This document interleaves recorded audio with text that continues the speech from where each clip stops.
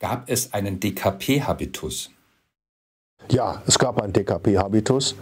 Ich will es mal ein bisschen äh, polemisch formulieren. Ich weiß nicht, ob sich irgendjemand noch an Herbert Mies erinnert. Das war der DKP-Habitus. Das waren meist etwas ältliche, ältliche äh, Männer, die sich ganz bewusst einen proletarischen Habitus gaben, proletarisch auch sprachen ähm, und einen erinnerten an einen DDR-Funktionär, der in den Westen versetzt worden war. So könnte, man's, so könnte man die vielleicht beschreiben. Deshalb waren die im intellektuellen Milieu an den Unis auch so unattraktiv, weil man sich mit dem Habitus eigentlich gar nicht anfreunden wollte und anfreunden konnte.